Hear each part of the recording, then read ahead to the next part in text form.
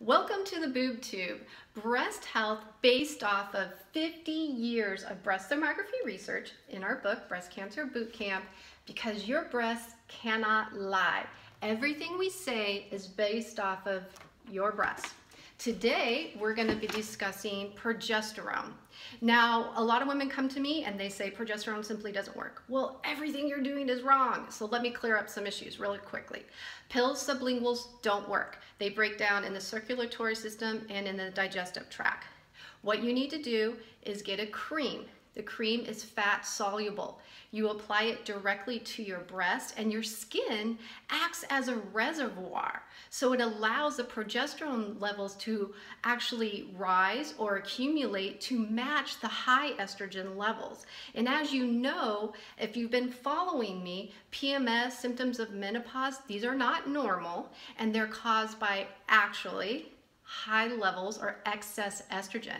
Women are actually progesterone deficient.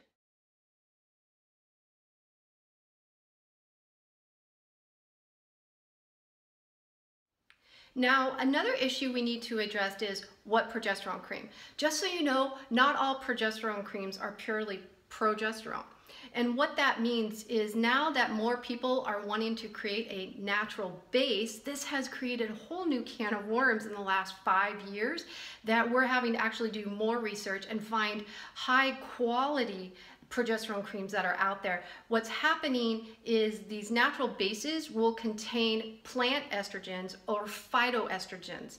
So when you apply the cream to your breast, you're also applying the estrogen. So you're not getting the benefit of just the progesterone. So make sure you read my blog because I list the compounding pharmacy and the over-the-counter cream. And there is only one over-the-counter cream that works. The rest of them have plant estrogens or other products products that are actually increasing your estrogen levels. Another thing you should know is if you are using bioidentical estrogen with your progesterone, whether it be a cream or a patch, you will never get that level of progesterone to rise and to match the estrogen.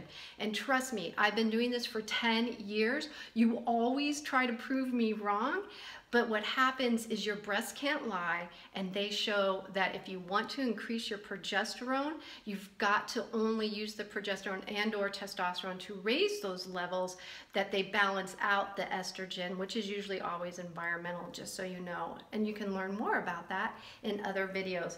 Make sure if you ever want more information to buy our book. It does, the proceeds do go to our nonprofit for more education for you. And remember, let's save the girls.